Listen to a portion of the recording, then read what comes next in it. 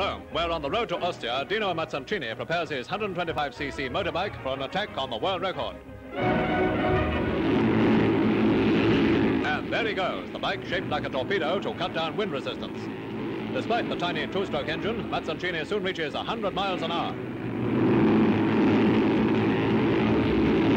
And the run completed, he comes in to learn that he's a record breaker for the speed of 107 miles an hour. 1951's King of the Two-Stroke.